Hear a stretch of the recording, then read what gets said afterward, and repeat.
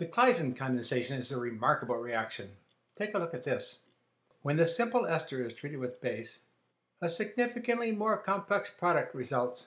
This product has twice as many carbons, it has two carbonyl groups, so there's a host of things that can be done with this compound. We've made a bigger molecule from a smaller one by making a carbon-carbon bond. Here's another example. This is ethyl phenyl acetate. It has a phenyl group attached to a CH2. When it's treated with base, this compound results. Again, it's a beta keto ester. We call it a beta keto ester because the compound next to the carbonyl group is an alpha carbon, and the next one along the chain is beta. When you take a look at these two reactions, you see that the starting materials have a couple things in common. They have the carboethoxy group carbon and one other. This is a CH2. So both products have these portions of the molecule in common. You see there are four carbons plus substituents attached. The two and four carbons have the same things attached. This ester has three carbons of an alkyl group attached to the CH2, and here they are in the product, once and again. This N-propyl group is attached at the two carbon and the four carbon. And below, there's a phenyl group in the starting material, and there are two phenyl groups in the product, one at the two carbon and one at the four. So generalizing from this, we can say that the Claisen condensation is a reaction of esters where we have a carboethoxy group and a CH2 plus something else attached in the starting material. And in the product, we have four carbons, and at the two carbon and four carbon, we have the same substituent attached. And the ketone is at the beta position relative to the ester. Let's take a look at what accounts for this remarkable transformation. When this ester is treated with base, one of the protons alpha to the carbonyl is removed. This makes an enolate. An enolate can act as a nucleophile, so it can add to the carbonyl of another molecule of ester.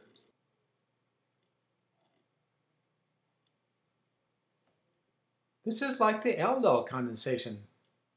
And like the aldol, this is a step that joins two small molecules together to make a bigger one. I put the new carbon-carbon bond in tan. And now look what we've done. We've added a nucleophile to a carboxylic acid derivative. That sounds like the first step of nucleophilic acyl substitution, doesn't it? Which might bring to mind what happens next.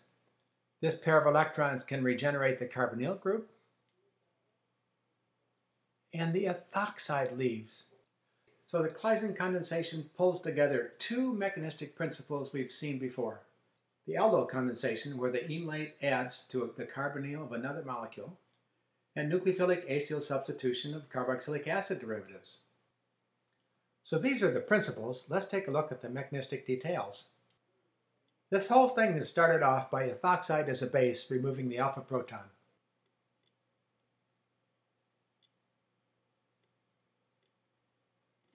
This makes an enolate, which is resonance stabilized.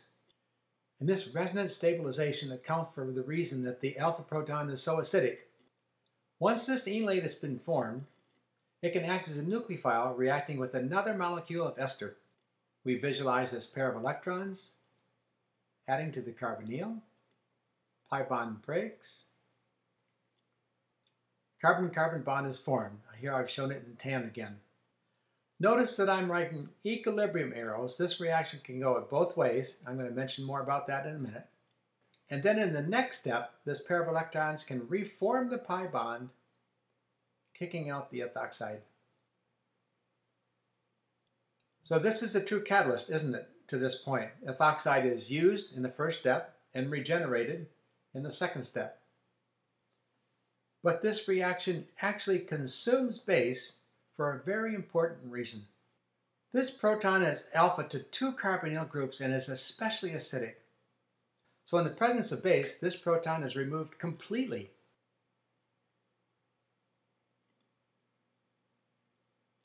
And we know that this enolate has three resonance structures. I've shown one here with a negative charge on the carbon, but there are two other resonance structures with negative charges on the oxygen.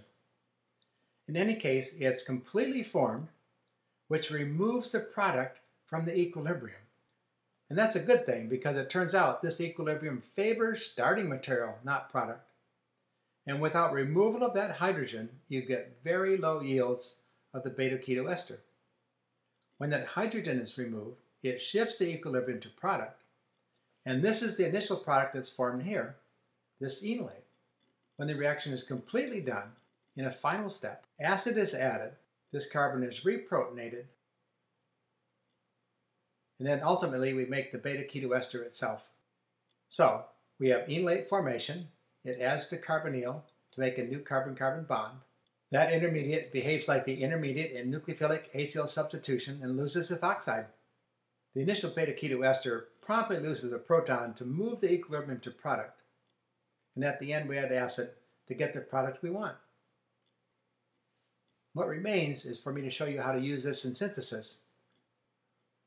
The Claisen is suited to making beta-ketoesters when the substitution on the 2 and the 4 carbons is identical. This will be the new carbon-carbon bond. Two molecules of the same thing react with each other. So we write this ester and we're done. Often we'd write the ester like this. I like to write it this way so you can't make a mistake about the compound you need.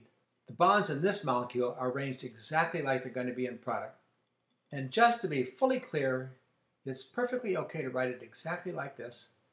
So we know that CH2 is there. One of these hydrogens will be removed in the first step to make the enolate. And the other hydrogen has to be there in the product, so it can be removed to shift the equilibrium to product. This Claisen condensation is very powerful because it makes a more complicated, larger molecule from a small one. The esters are usually readily available. At the same time, you see that you have to have identical substitution on carbons 2 and 4. In another video, I'm going to talk about cross-Claisen condensations where the substituents don't have to be the same. And finally, the Claisen condensation derives a lot of its power from the fact that you can use this to make rings. And in another video, I'll talk about the intermolecular Claisen condensation that makes rings.